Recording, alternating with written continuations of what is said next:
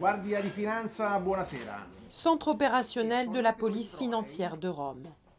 Ces policiers reçoivent 24 heures sur 24 des appels pour signaler toutes sortes d'arnaques au fisc.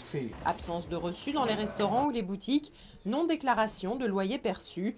Les exemples sont nombreux et les appels au 117, le numéro vert pour dénoncer les fraudeurs, n'ont cessé d'augmenter ces dernières années. On est passé de 6500 appels en 2010 à 7400 en 2011, puis 8200 sur les 10 premiers mois de 2012.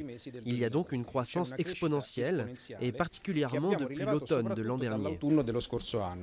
Date à laquelle Mario Monti est arrivé au pouvoir et a décidé de faire de la lutte contre l'évasion fiscale son cheval de bataille, une nécessité alors que le pays était dans la ligne de mire des marchés financiers à cause de sa dette colossale.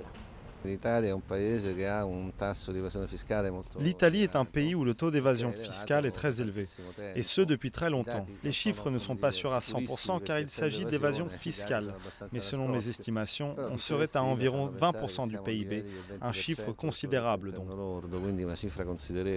L'an dernier, le fisc italien a réussi à récupérer 12,7 milliards d'euros, soit un peu plus de 15% par rapport à 2010, mais beaucoup reste encore à faire. Les grands fraudeurs sont ceux qui envoient leur argent dans les paradis fiscaux. eh, Donc là, il faudrait travailler au niveau international pour réduire les privilèges que les paradis fiscaux accordent. C'est un problème de politique internationale très sérieux. Les opérations pour démasquer les fraudeurs devraient se poursuivre après la station de ski chic de Cortina d'Ampezzo dans le nord-est de l'Italie l'hiver dernier. Les autorités se sont par exemple attaquées au bed and breakfast au printemps. Un blitz qui a permis d'établir qu'environ 30% de ces structures n'étaient pas en règle avec le fisc.